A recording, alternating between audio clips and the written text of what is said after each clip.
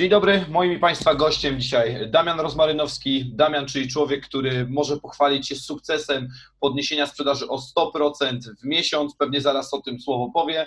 E, trener sprzedaży, trener zarządzania, człowiek, który teorię wciela w praktykę i pomaga działom rosnąć. Cześć Damian. Cześć, witam serdecznie. Tak, faktycznie, tak było w Polska Press, e, telefoniczny oddział sprzedaży w Bydgoszczy. 101% wzrostu sprzedaży w zasadzie w niecały miesiąc. To był ich wielki sukces, e, więc brawa dla nich, gratulacje. Oby więcej takich efektów naszej pracy. Okej, okay. no to przejdźmy do pytań, bo, bo na tym się skupiamy.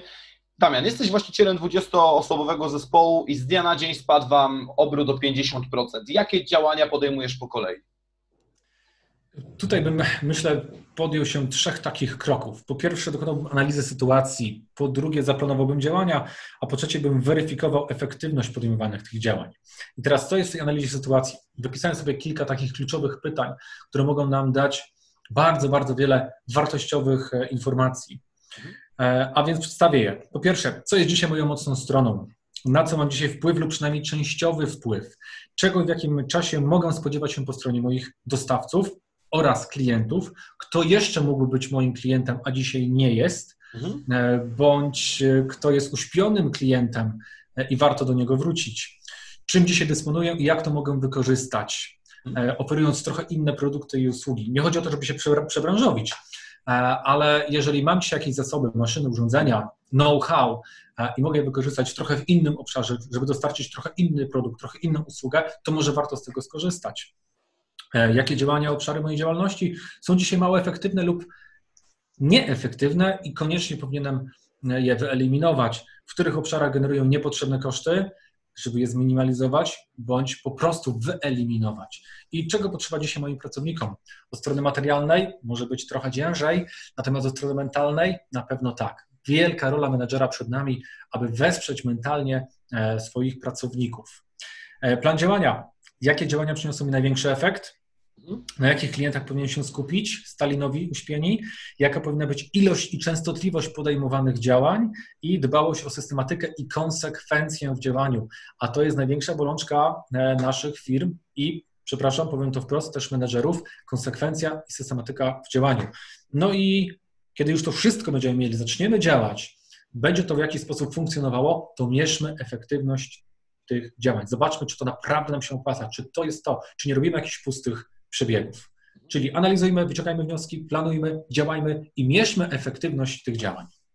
Okej. Okay. To powiedz, jak mogą wykorzystać ten czas wszystkie branże, które są zamknięte w wyniku specustawy? Na czym Twoim zdaniem one powinny się skupić w tym momencie? No, o wszystkich e, nie zdołamy mówić, mamy bardzo mało czasu. Podam kilka takich przykładów, które, które, których, ja, których ja uczestniczyłem e, jako konsultant. I tak na przykład e, branża gastronomiczna. Jedna z firm przerzuca się na e, pieczywo, na produkcję pieczywa. Oczywiście nie na taką skalę, nie w takiej cenie, e, jak to robi piekarnia, ale pyta swoich klientów, moi drodzy, jesteście naszymi klientami od strony tej gastronomicznej, naszej restauracji. Dzisiaj nie mamy takiej możliwości, żeby świadczyć Wam usługi, serwować dania, ale chcemy zrobić pieczywo, wyprodukować pieczywo. Czy będziecie to pieczywo od nas kupowali i jakie to pieczywo miałoby być? W związku z tym jest to jedna z opcji, jak wykorzystać swój potencjał, swoje urządzenia, swoje maszyny, kompetencje swoich ludzi do tego, żeby zrobić coś troszeczkę innego. E, firma produkująca autobusy, która ma swój park maszynowy, dzisiaj świadczy usługi e, w dostarczaniu komponentów podzespołów do innych firm, albo świadczy usługi tapicerowania na przykład na zewnątrz. Mhm.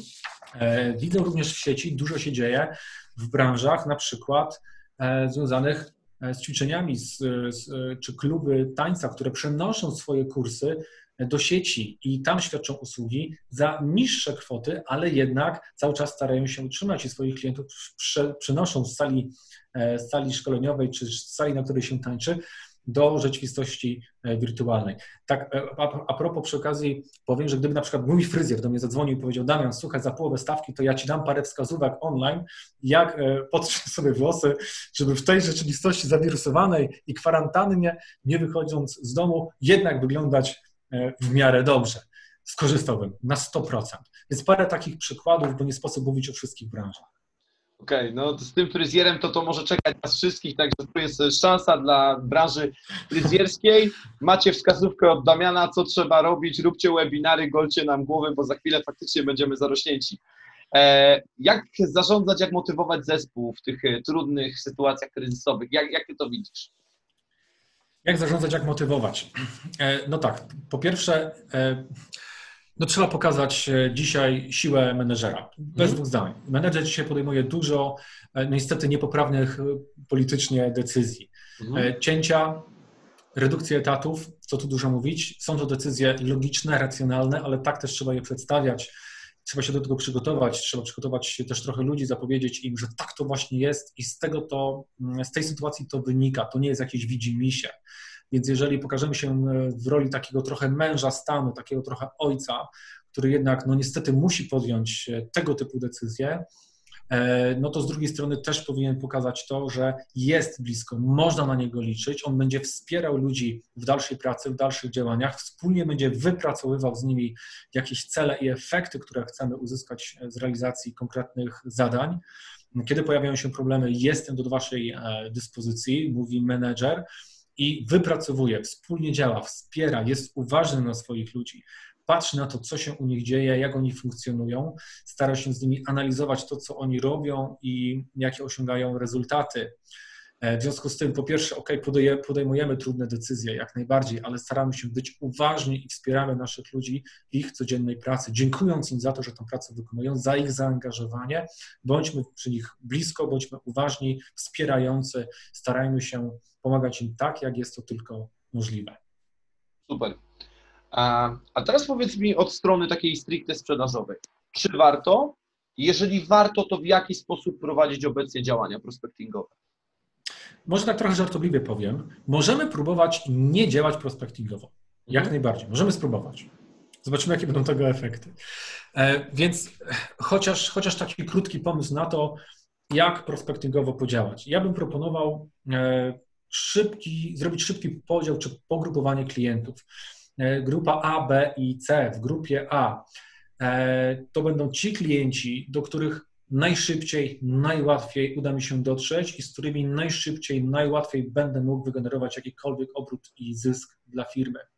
E, w grupie B będą ci klienci, którym pójdzie mi trochę trudniej, trochę dłużej, ale jest taka możliwość, żeby w miarę upływu czasu znaleźli się również w grupie, w grupie A.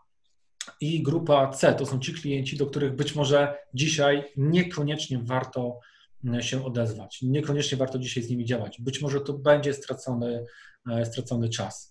E, warto też opisać sobie tą grupę C, do kogo nie powinienem się dzisiaj odzywać, po to, żeby nie marnować swojego czasu. Nie mamy dzisiaj tego czasu, pracujemy zdalnie. Praca zdalna nie jest tak efektywna jak praca E, którą wykonujemy normalnie w biurze, w firmie, e, czy, czy będąc w drodze na przykład jako, jako handlowiec. Jeżeli dzisiaj wykonujemy 4-5 godzin efektywnej pracy, to to już jest i tak wow, super pracując w domu, no bo wiecie, dzieci, pranie, gotowanie, sprzątanie i tak dalej. To wszystko ściąga nas od tego, żeby efektywnie pracować, ale taka jest rzeczywistość, no i tutaj musimy sobie z tym po prostu e, radzić. Więc prospecting tak, ale mądrze, naprawdę mądrze, jak nigdy wcześniej. Czyli zalecasz mały, mały scoring klientów, żeby klientów odpowiednio pogrupować i w ten sposób prowadzić działania, jeśli już. Tak jest, tak jest, tak okay. jest. Od tego bym po prostu zaczął.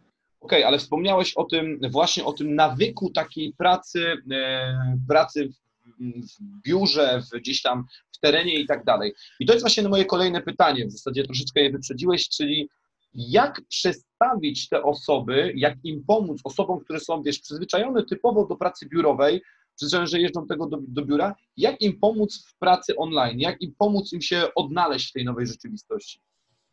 No tak, efektywność pracy to jest akurat y, chyba specjalizacja Mariusza Tomaszewskiego, więc jemu zostawię ten temat, ale może ujmę Będzie nadawał tak... cały dzień. Okej, okay, w porządku, ale ujmę to od strony menedżerskiej. Szanowni menedżerowie, mm, ja proponuję taką rzecz.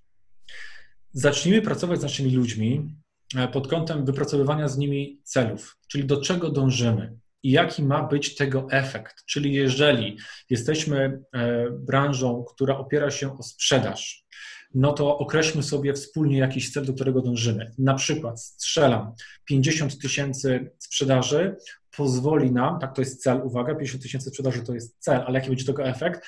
Efektem e, tej sprzedaży będzie to, że będziemy mogli spokojnie funkcjonować, przetrwamy ten kryzys, taki poziom sprzedaży da nam poczucie bezpieczeństwa, czyli mamy i cel, i mamy efekt. Mhm. Jeżeli w ten sposób do tego podejdziemy i później wspólnie z handlowcami zaplanujemy, e, zaplanujemy te działania, to powinno się to udać. Ale niezależnie od tego, czy to są handlowcy, czy to jest pracownicy administracji, z każdym, e, z każdym pracownikiem możemy wykreować jakiś cel, określić jakiś efekt i wspólnie później mierzyć efektywność tej pracy, ale wspierając te osoby, a nie tylko wymagając i oczekując, wspierając, monitorując postępy tej pracy, monitorując efekty tej pracy.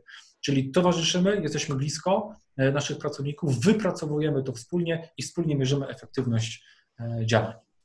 Okej, okay, super to wobec tego, jeżeli mówimy już o pracownikach, jesteśmy na nich skupieni, to jak pomóc teraz tym osobom, albo w zasadzie co powinny zrobić te osoby, które właśnie tracą stanowiska w wyniku cięcia etatów? Co, co można im polecić?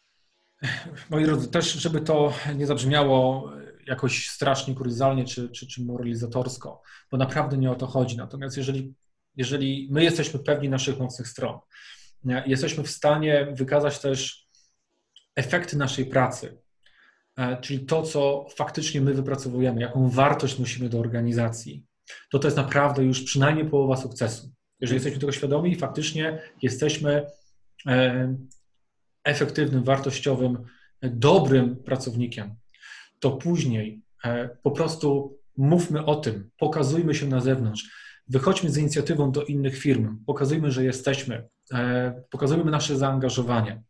Myślę, że wiele firm podejdzie do tego dzisiaj właśnie w taki sposób. Jeżeli ktoś jest zaangażowany, ma odpowiednią postawę, jest zmotywowany do działania, to ma dużą szansę na to, że zostanie mm, przyciągnięty to, czy, czy, e, czy zostanie po prostu zatrudniony.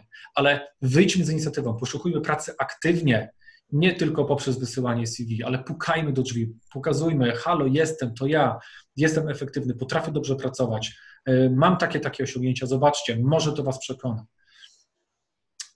taki sposób polecam na ten moment.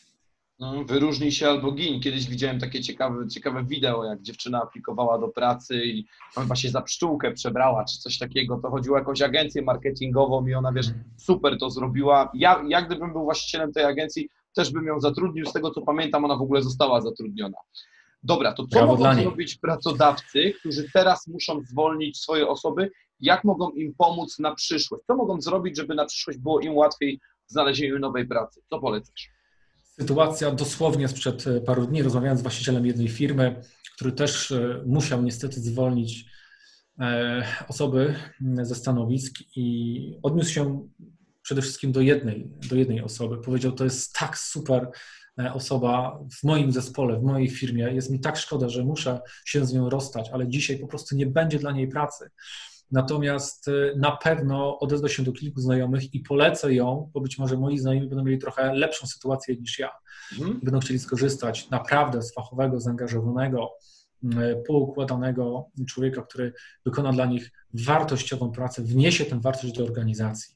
Więc na pewno można dać dobre referencje i na pewno można zapukać do kilku znajomych, którzy być może mają lepszą sytuację niż ja dzisiaj i mogę im polecić tę czy inną osobę.